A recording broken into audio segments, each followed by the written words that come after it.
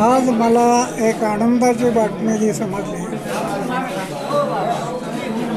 की शेतकऱ्यांच्या अन्यायकारक असे जे कायदे होते ते पंतप्रधानांनी रद्द करायचं ठरवलं अशी बातमी मी ऐकली. खूप समाधान वाटलं. कृषीप्रधान भारत देशामध्ये शेतकऱ्यांच्या शेतीतून जे उत्पन्न मिळतं.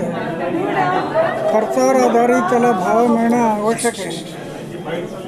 परंतु या कायद्यामध्ये ते भाव मिळणं दुरापास्त झाल्यामुळं शेतकरी आज जवळजवळ तीन वर्ष झाले आंदोलन करतात. कृषीप्रधान भारत देशामध्ये शेतकऱ्यांना आंदोलन करण्याची वेळ येणं ही दुर्दैवी बाब आहे. कारण तो अन्नदाता आहे. तो जगाचा पोसिंदा आहे. तो देशाचा पोशिंदा आहे. तो पिकवतो म्हणून आम्ही खातो म्हणून जगतो. अशा शेतकऱ्यांच्या शेतीला योग्य भाव न मिळणं हा फार मोठा अन्याय होता. आता पंतप्रधानांनी जो निर्णय घेतला त्यामुळं शेतकऱ्यांना योग्य भाव मिळतील असं मी मा- समजतो. आणि आता ज्या घेतलेल्या निर्णयाच्या संबंधाने त्यांनाही धन्यवाद देतो. शेवटी शेतकरी रस्त्यावर उतरले.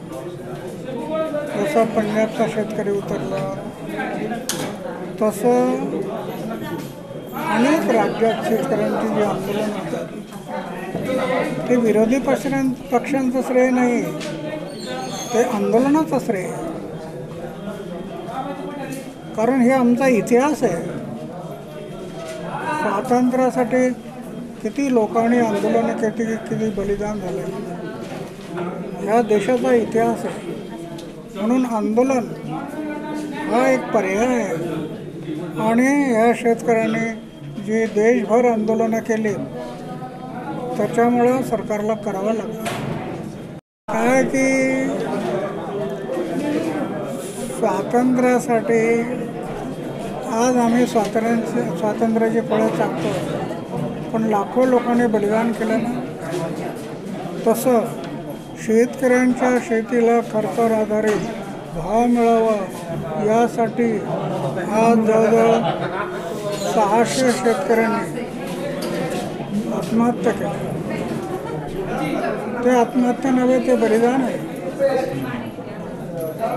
शेतकऱ्यांच्या हितासाठी. आता हा कायदा झाल्यानंतर ज्या शेतकऱ्यांनी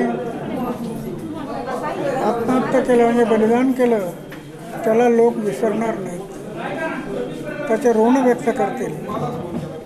आणि पुढेही ते प्रेरणा देत राहतील असं मला वाटतं.